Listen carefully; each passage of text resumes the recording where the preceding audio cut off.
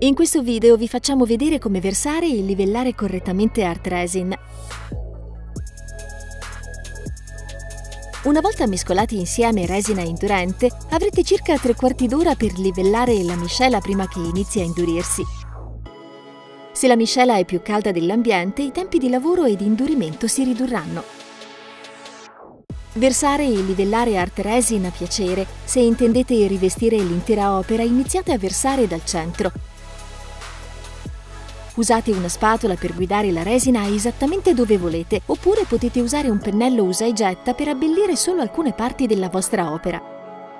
Potete resinare i fianchi con un pennello usa e getta o con la mano guantata, oppure lasciare che formi una superficie liscia. Ora siete pronti per il quinto passo,